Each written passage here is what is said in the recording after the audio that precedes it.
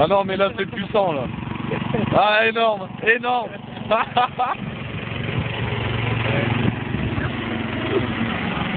Une personne qui promène son chien avec un tracteur tondeuse. Puissant. Énorme. J'adore.